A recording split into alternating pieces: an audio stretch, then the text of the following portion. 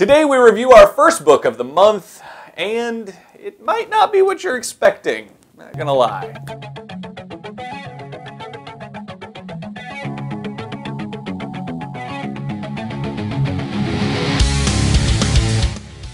Hey guys, welcome to the Ticker, the show where real estate professionals come to learn how to get ahead in life and business. I am Chase Thompson. I'm Billy Neel. And like we mentioned in the bumper, today is the first day where we review our first book of the month, and it is Jeffrey Gitomer's Little Platinum Book of Cha-Ching. Now, we have a bit of a confession to make in reference to this. We were really geared up and excited about this new show, and someone handed us this book. They said it was great and amazing, and so we were like, bam, first book that we're going to do, it's going to be awesome. But it didn't really work out that way so much. We're going to go over some of the nuggets that we pulled out of it that we really did like, some of the things that were great, and then we're going to talk to you a little bit about what we didn't like and the reason why neither one of us actually finished the book. So, It was it was a little bit difficult to read. Um, that, that I might say. However, I'm actually going to read a couple of passages that uh, that I did find that would be helpful moving forward in, in your business and life. As one of them is survival and success are a combination of knowing and doing. Uh, what I liked about this is, and this is principle number five, and what I liked about the principle is that it actually asks some very good questions in, in, in the process. Number one, uh, how many books have you read over the last year?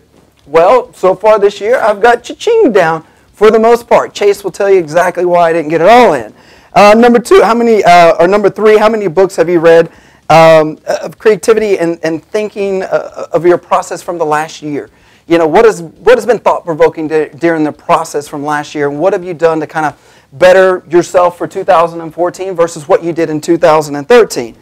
And one other thing that, that popped up to me is, um, you know, this is principle actually 31. There's quite a few principles in here. Uh, and I'm just trying to get to, to the meat of this. Is um, uh, you become known for the actions you take, take ethical actions. I mean, everything that, that this is providing, and this isn't something that's new. We understand that we have to make decisions. Uh, what he's trying to say is make sure that you're making good ethical decisions with what you're doing. So don't get me wrong, this book does have some meat to it, uh, and it does have some very good principles to kind of live and follow by. Uh, however, it was a little difficult to read. yeah, so some of the issues that we had with it was is number one, pick a font. Number two, pick a color. Number three, not so much italics and bold. Number four, it was extremely scattered for some ADHD guys. It was all over the place, it seemed. Um, there's a lot of other things. It was a rehashing of a first book that he'd already written, but that's not part of any of the sales copy for the book. So if you've already read one of his earlier books, this is kind of just it plus a couple of other ideas and, and, and notes.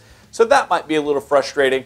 Um, really, though, we kind of vacillated on this show about how to actually bring this content to you.